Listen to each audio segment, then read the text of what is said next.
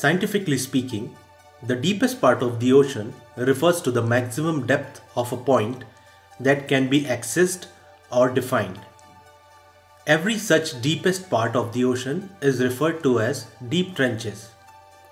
Known as the Hadal Zone, the very bottom of the deepest part of the ocean is a result of plunging trenches created by shifting tectonic plates. Currently, there are 46 hadal habitats across the oceans and humans know very little about these regions since it's very difficult to study these parts of the oceans. Here is a list of 10 such points that mark the deepest parts of the ocean. The Peru-Chile Trench It is located around 160 kilometers off the coast of Peru and Chile in the eastern Pacific Ocean. The trench measures around 5900 km in length and 64 km in mean width, while it covers an area of about 590,000 square kilometers. The trench has a maximum depth of 8.06 km below the sea level. The deepest point of the trench is known as Richards Deep, South Sandwich Trench. It is located at 100 km to the east of South Sandwich Island in the southern Atlantic Ocean. This deep trench runs for over 956 kilometers, making it one of the most noticeable trenches of the world.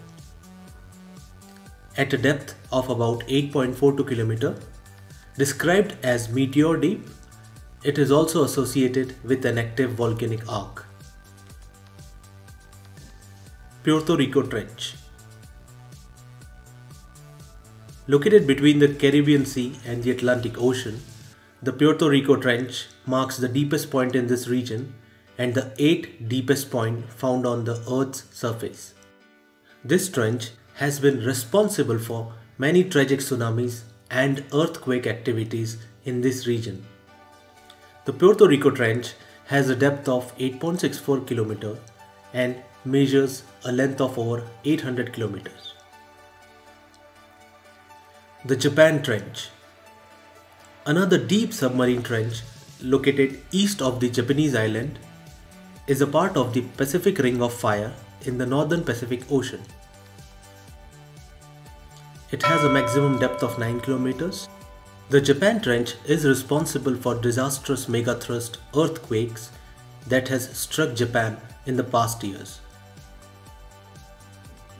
Izu Ogasawara Trench This trench is located in the western Pacific Ocean, also known as the Izu Bonin Trench. This deep trench stretches from Japan to the northern section of Mariana Trench and it is also an extension of the Japan Trench. The Izu Ogasawara Trench has a maximum depth of 9.78 kilometers. The Kermadec Trench Another submarine trench which lies on the floor of the South Pacific Ocean, the Kermadec Trench stretches for about 1000 kilometers. Formed by the subduction of the Pacific Plate under the Indo-Australian Plate, the Kermadec Trench has a maximum depth of 10.04 kilometers. The trench is also home for a variety of species including a species of giant amphipod which measures approximately 34 cm in length. Kuril-Kamchatka Trench Another deepest part of the ocean, which belongs to Pacific Ocean, is the Kuril-Kamchatka Trench.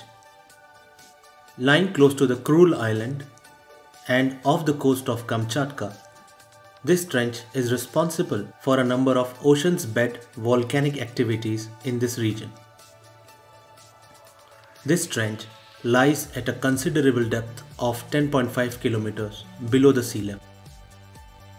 The Philippine Trench this submarine trench is located in the Philippine Sea, spreads in a length of 1320 kilometers and with a width of 30 kilometers in the east of Philippines. The Philippine Trench is 10.54 kilometers below the sea level. The Tonga Trench located in the southwest Pacific Ocean and at the Kermadec Tonga subduction zone's northern end. The deepest point in the Tonga Trench is known as the Horizon Deep. It is considered to be the second deepest point on Earth after the Challenger. The Tonga Trench lies around 10.882 km below the sea level. The Mariana Trench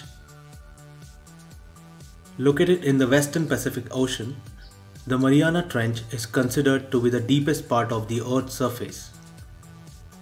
The trench measures around 2550 km long, 69 km wide on average, and has a maximum depth of 10.91 km at the Challenger Deep. If we compare the Mariana Trench with Mount Everest, you will see that the depth of the trench is larger than that of the height of the Mount Everest. Among all the features that oceans offer, it's the very depth of these water bodies that makes them so enchanting.